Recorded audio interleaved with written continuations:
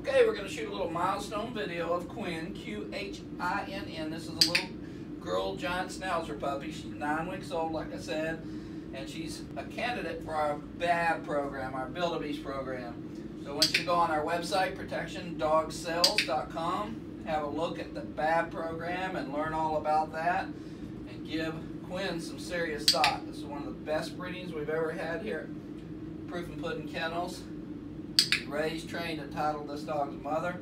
She's a phenomenal dog. The father's a super dog from excellent working lines. So we're very pleased with this litter and their development. Just had her ears cropped, a beautiful crop. The little hat is designed to protect that crop while it's healing. So we've got everything on track. We like everything about this puppy and we're going to shoot lots and lots of video of her as she grows up. So that's Qhinn, nine weeks old. Give us a call and we'll talk to you about how you can own a puppy like this.